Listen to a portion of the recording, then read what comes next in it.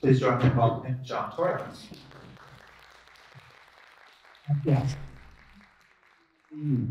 Um, good evening. I'm John. This is Aki. Uh, you're gonna see her later as well. Um, thank you to the Mike Kelley Foundation.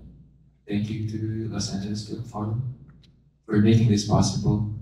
This is a diary of our times from 2017 to 2020, meaning the Duterte um, pandemic times all the way to the Marcos Jr. time in the Philippines. Um, that is also the time when I became a father and I had to kind of find ways to be more practical about being and continue, continuing on as an artist filmmaker and also being present as a father.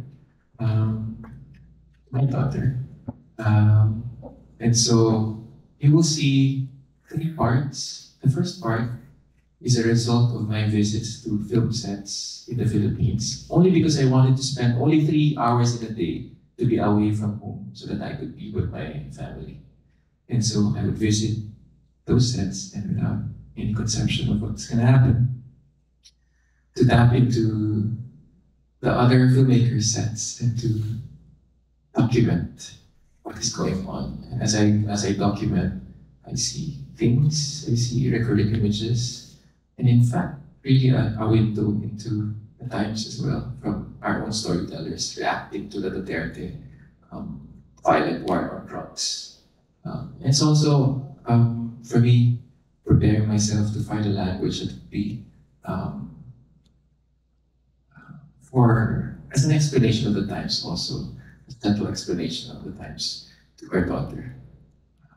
The second one is really a, a diary in a sense that I source Zoom calls, student um, projects, because I'm a teacher in the Philippines, and also there's stock footage, because um, all born uh, um, out of my goodbye to my friends in a car ride that I recorded through sound.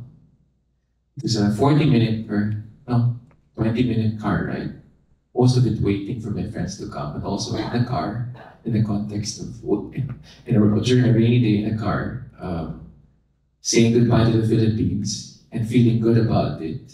Um, also fly, flying in and out of spaces, as I also grieved for my for the passing of my mother, whom we lost uh, at the first wave of the pandemic in the Philippines.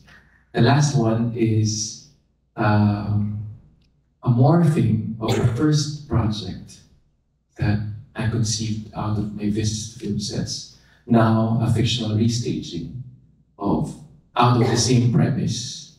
It is a half film because I just uh, took advantage of just some resources that were available, uh, uh, another commission, to make a film that we could not possibly finish, but we just wanted to start and shoot and edit. So it's a half film.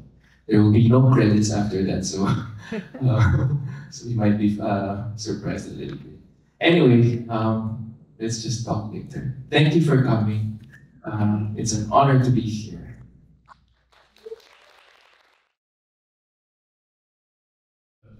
Generous grant from the Mike Kelley Foundation. Um, we're brainstorming artists that we really wanted to bring. Uh, John Torres was one of the first names I suggested because it, it struck me that he had such an interesting body of work already, and I was really excited at the prospect that we could do something to support uh, further work on his part, and then also maybe a little selfishly that we get to then have him in LA to do a couple of shows. So um, this has been an amazing uh, pair of programs. I hope some of you were also at the other one uh, two nights ago at Whammy. Uh, but to talk a little bit further about what you've just seen, I'd like to introduce John Torres. Thank you, Mark. Thank you. Thank you for suggesting my name and uh, having this opportunity to do work. Uh, yeah. it was really amazing to see these three together because I felt like within the films, I was experiencing almost this sense of Deja Vu, but then across the three films, there's like really this like uh, exponential experience of deja vu that was really really interesting. But I'm wondering if you could say a little bit about the relationship between the pieces. Do you envision them as always showing together or in relationship with each other? Yeah. Um, okay. First, the first film, as I said, I guess I got one year of training in in in isolation, in containment, uh, just by being a father, young father, and wanted to really do my best to uh, balance the two, filmmaking and parenthood. Uh, and so I felt like wanting to be at home, but also continuing the work as an artist. So yeah, I, I devised like this set of rules when I visit sets to kind of shoot the spaces and also try to make a story for my daughter. So the way I framed everything, I wouldn't um, include light stands, the the things behind the making, just to have this story that can be continuous. So I didn't have any story, but I was also getting so much material um, and I knew I, I, I also had time to digest and things, think things through. I'm an editor, so uh, I'm all about sometimes pace, unfolding, rhythm, and I've long ago um, surrendered the idea of continuity as something that is one and even um, continuity as something that we can go from space to space and from time to time. So when the pandemic came, um, and we had our loss in the family, I was all beginning to see how can I make the film then. Um, I was able to make the short film that you saw first, and I really wanted to um, expand it into a feature, and that's why it opened with um, a pitch uh, that I actually gave at the market uh, for them to see my own continuance of the, the story that I wanted to expand on the pandemic came and I knew that no one will shoot again, so how would I do it?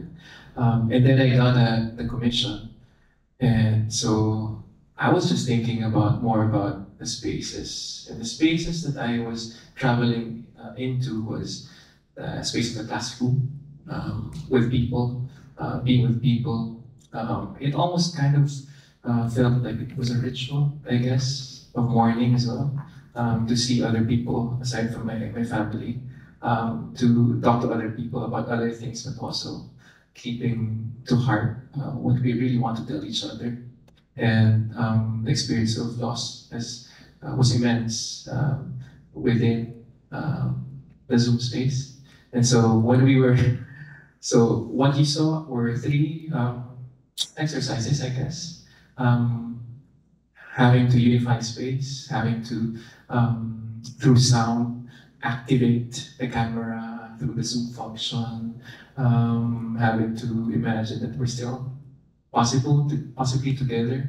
Um, and voice was something that continued and made it possible for us to tell stories, um, traveling to and from, um, and other sources of footage as well. Um, so that, and then we had to leave so we had to leave. I didn't know what to do except to have a diary of the of the times. I knew that I wanted to share this uh, with the support Los Angeles Film Forum and uh, the Kelley Foundation. And so aside from the Zoom sessions, I also documented my my daughter because it was practical for me to just turn on the Zoom session and I recorded, you know, um, session and just see my daughter and how, what what she really felt about the times, even though we don't really talk about it. Um, so when we had to leave, I just thought of just recording because voice, sound um, has a lot of possibilities, and even if we close our eyes, even if we don't see anything on screen, we can imagine things further, um, and we can travel along. Um, so I recorded my goodbye just um, from the car, from the from the gate, um, during a rainy night, um, to say goodbye to other two, two friends. And that's basically what I had coming to Berlin, where we had to spend nine months, uh, six months there for my wife's uh, residency. So I I had time to digest everything. Um, it was all about my friends. It was all about um, our minds um, looking at the skies and seeing, looking for signs whether Marcos will be doing the same things, whether whether we're expecting the same things again. Um, and it was a goodbye that was joyful for me because a good riddance, I don't want to be there. Um, but finally, I had to edit things using sound. Um, I knew that I wanted to, to include student um, works because they freely expressed themselves at that time. It was special. Same time, I, I knew I had to kind of see my friends or sense my friends through image. So I, I, just thought of using stock footage to kind of have this relationship between image and sound. First, very diegetically and trying to be continuous. But at the same time, I also wanted to have kind of this distance and a synchronous relationship to, to image so that we know that we're really developing this kind of tone of a tree, of something that we can all meet in. At the same time, I know that my daughter will also um, hear about this kind of process from other people. And I know that she will see this. I want it to be consistent from the first to, to the second. This tone still continues, uh, this rhythm on unfolding. And it was very, very intuitive, very, very thankful again for this process because I wasn't at all rushed by, by anyone. Like Adam was always in touch with me For the Angeles Film Forum, never asked me to rush things. And um, very thankful for that. And so with stock footage, I wanted to see, okay, these are strangers, these are ima- images scaled for the consumer market, and I, I think there is still some emotion contained there. I wanted to extract those things. Um, if I want, if I can do a combination of montage and continuity and um, a different sense of um, collage between them that we can all accept now as coming from other spaces. So this um, distance between sound and image was very interesting for me to, uh, to evoke. Um, at the same time, the impact of a body in a car, um, very personally, of course, is, is rooted very personally because that was the, the impact of a body that was loaded onto a vehicle to be wheeled, wheeled away. Um, that was that was also the impact of the news during the 100 year, 100 days of first 100 days of Marcos. When the CCTV footage, we, we don't see the body, but it impacts the vehicle. And this is the same space that I have with friends to say goodbye, to say hello, to fetch friends, and to go somewhere else. After it all, um, in the middle, um, my daughter was into it, saw me editing things, and that's why you hear her voice just really.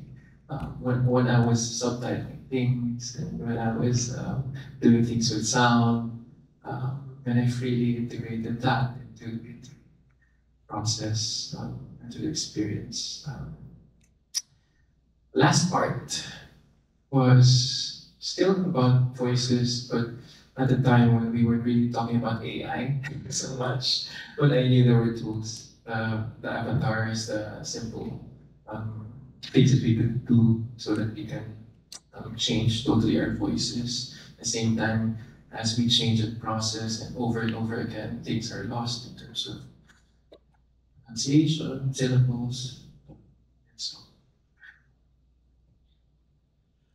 I was thinking a lot about a year, a year and a half ago, I went to the first film festival that I, that I was able to go to since the pandemic began. It was an experimental film festival.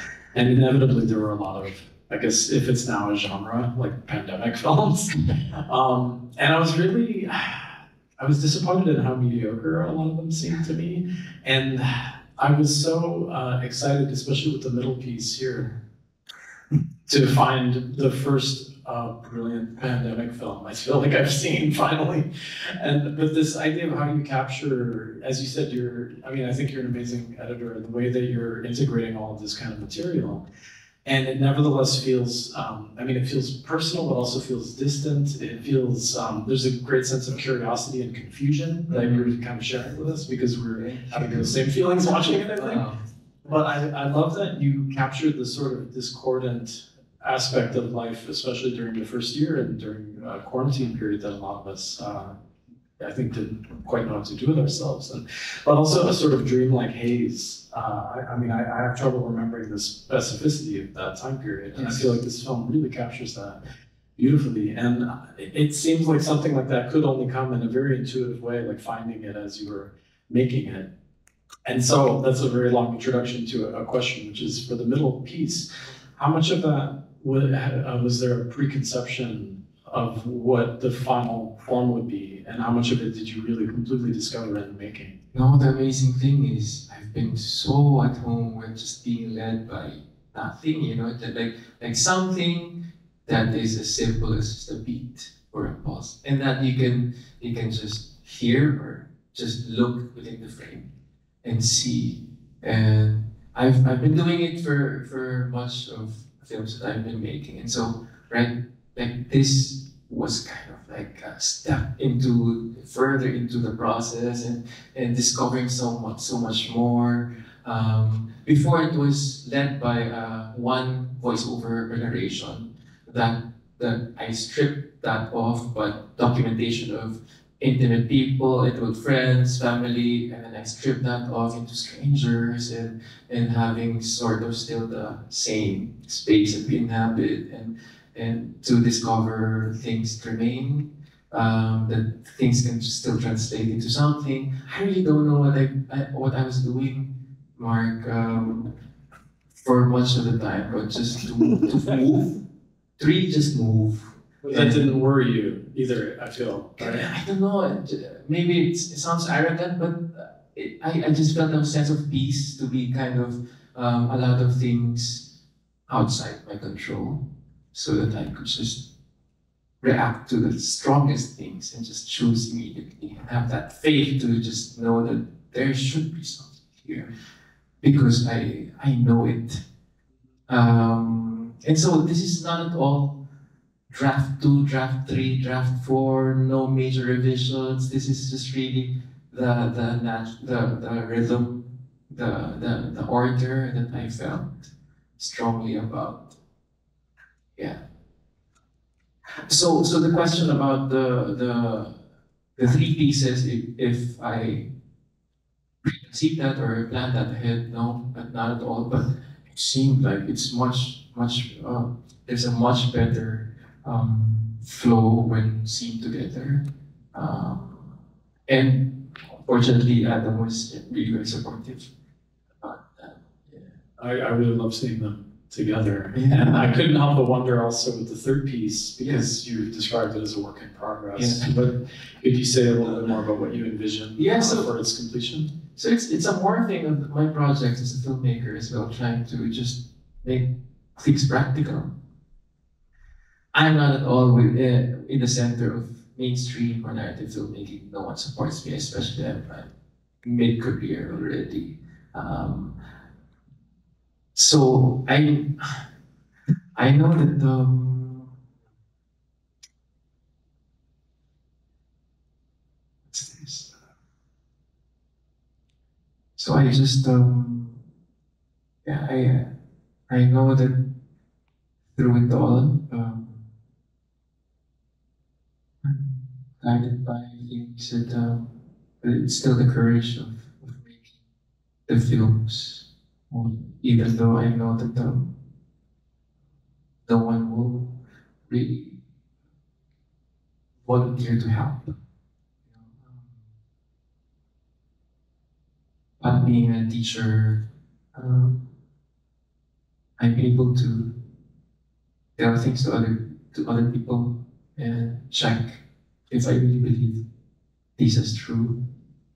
And so far, so good.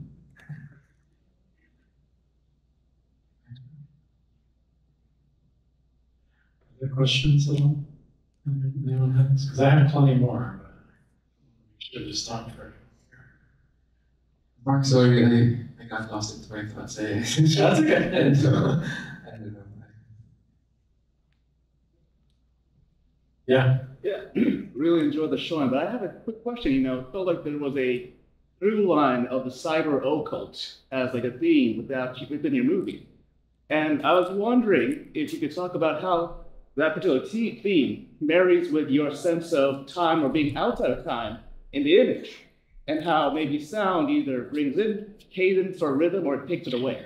Yeah, sound really was something that flew, that made really possible. I really can't believe that we're here because we were in, in a strict lockdown for two years and there was no end in sight. It felt like it. You know, um, in other countries, uh, they were they were having school as usual. We were just really separated, and just to hear the passing vehicles, I was so jealous about being sound. You know, um, and sound, if we come to think of it, it's really evoking so much, even more than if we hear it and see it. So I would, I, I really, I really, I really let that um, lead me through the process of editing. Um. Especially the voice, uh, the voice voice of, of someone you long to hear again. Um, there's no more chance to have a perfectly synced, diegetic image and sound of this person already, um, even if you recreate. Um, there's, yeah.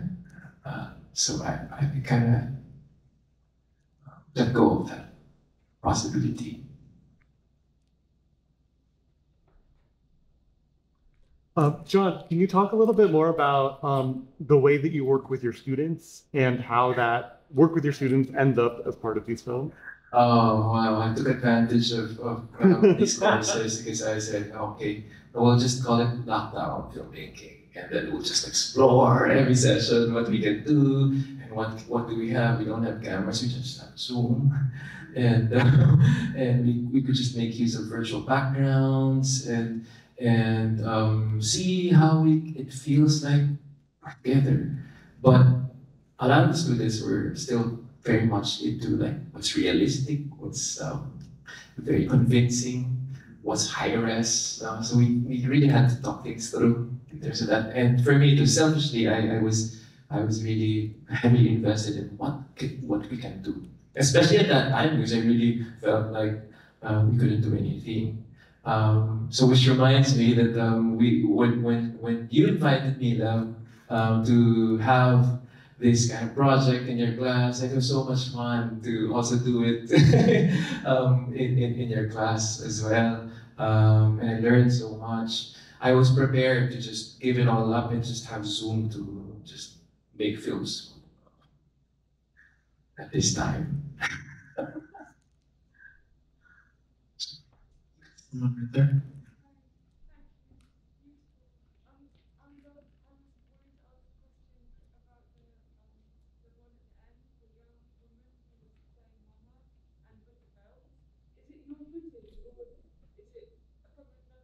Ah, yes, yes, yes. Okay, okay. Ah, maybe I did. Ah, maybe that is the question one. Okay. the first one was a fictional version, hybrid fictional um, attempt at story on the visited sense. From there, I got the premise of because of the recurring images that I got from filmmakers to films at this time. Strong images of the military, of police, and citizenry just having to surrender their bodies. I thought of a premise that would have that uh, tone into the first. So, okay, now that I knew that I could do it this way, I just thought maybe make a fictional um, story really out of it, not having to visit sets anymore. Because at that time, later on, I think it was pretty evident that things were opening up. And so we wrote a script. I got a commission from Singapore to make a film and live performance. And I told them, okay, I'm gonna make a film. um, let's do the performance in Singapore to continue, but I will expand on this this was a version from for Singapore, wherein um, we wrote the story with the same premise, not fictional. So yes, the footage was shot last year with friends, um, with just minimal budget for us, and hopefully that's also a pitch for us to to have other people just come on. So yes, I, I also direct, directed that. Oh, thank you. Thank you.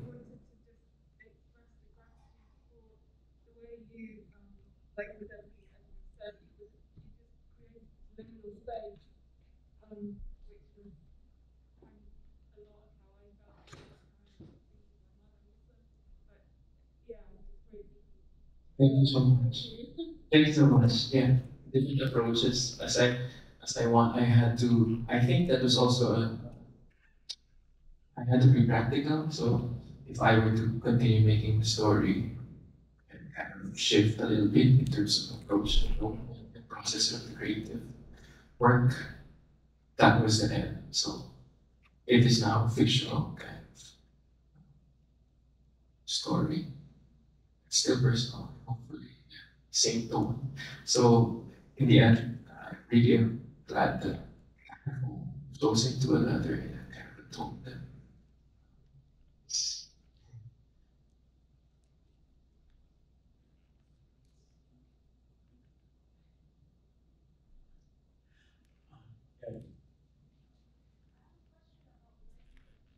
Language, yes.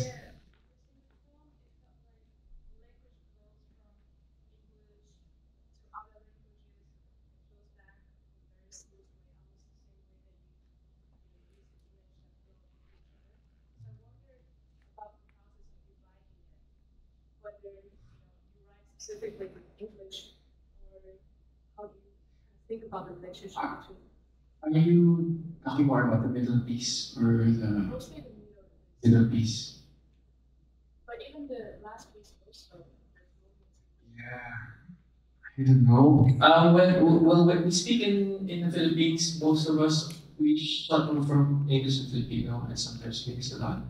Um, and it's, it's kind of our way to just be more personal. Actually, um, none of us are really very very good at speaking straight straight Filipino. Um, other than formal situations when you are forced to, um, and it seems proper. Uh, but every day 40 years of American rule. like, um, we shift from English to Filipino. Um, what else? In what, did you did you notice anything about language? Sorry, uh, I'm also. he's he's a writer. He's a he's a and, and, and, a very good one. But yeah. Well,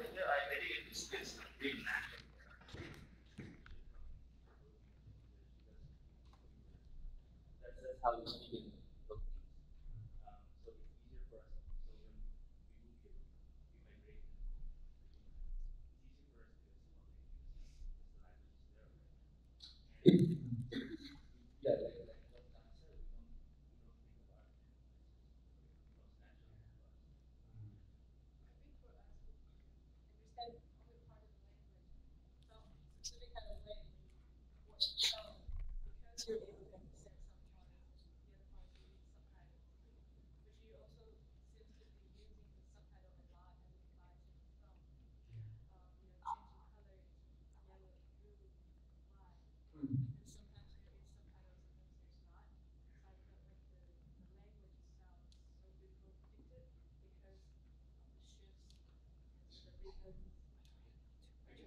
the.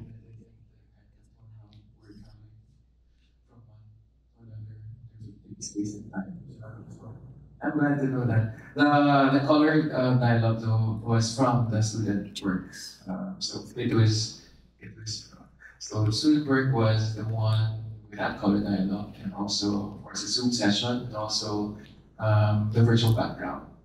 Um, can you help me or something?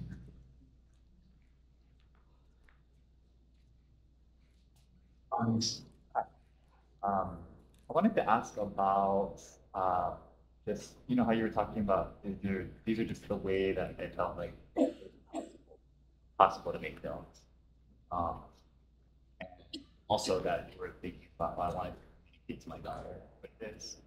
So I guess my question is when you're making your work, do you have in mind like people or like an audience and how much does that affect like, like yeah like Yeah, yeah, yeah. know and, and I just kind of mentioned that because know, not everyone's thinking my students have to be able to do this my daughter should be able to like hear this when they're making their work Yeah.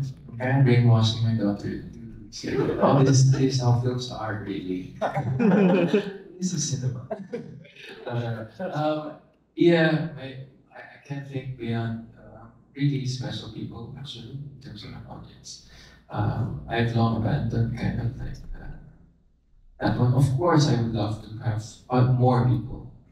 I guess that's also an interesting um, point actually on translating things and having having to know that oh I think I have the these things the core things the, the pulse the, the sensibility that can translate to a bigger audience so that's why for this the, the last one I I worked with actually actors mainstream actors here which I haven't and so that is an ongoing discussion um, as, as an artist you try to push things more and just see how you respond to it.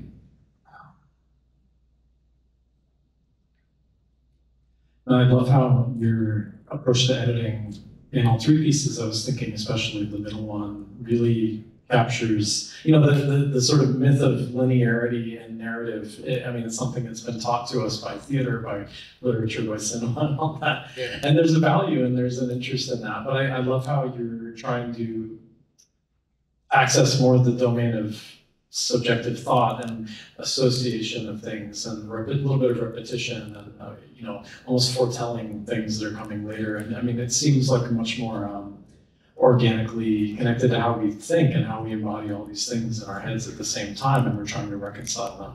And that's actually a very natural process for us but in in film we're used to it proceeding in a more or less linear way. But i feel like it really um, exploring that in a really um, complex way. Yeah, um, my, my, consciousness yeah. my first love was um, music, and which made, made me think about space and, and improvisation and, and all all things that we could go from one to another, which is not necessarily linear. It's all going from one place, you know, um, and even putting to sleep. And with music that you're not taught, and you just take time to just find the right combination of notes, puts you to sleep while playing it. Yeah, that's that's that's that's amazing, right? So that is aspiration, um, and so I wasn't really um, thinking about any idea, you know. Um, even if I, I almost almost al- always um, faced with a timeline yeah there are layers, layers of editing. So I know, okay, this special shot goes here. and then color coded And color coded, right yes, yes, um, and so on and so forth. Um, and sometimes they overlap, and they um, and because it's still linear, um, you never get to see those hidden things, and you get to question, okay, does it still feel right? And also in terms of editing, you're still building layers, but same time thinking things through linearly, also, and saying, ah, it's possible.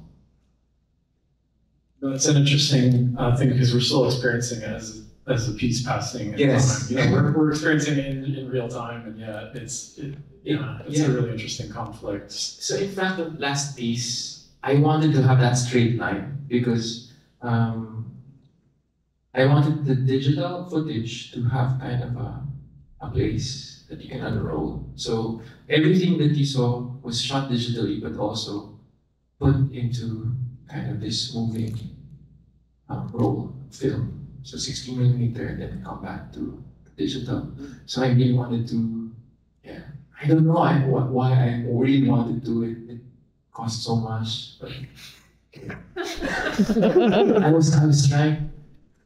Yeah, I just I just have to spend on it.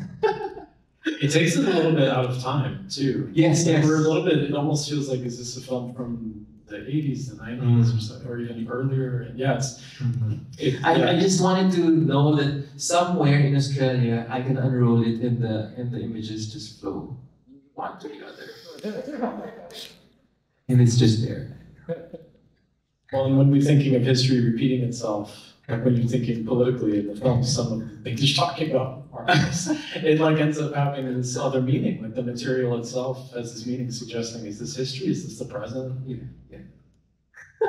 I, I I'm really looking forward to having the screening in the Philippines.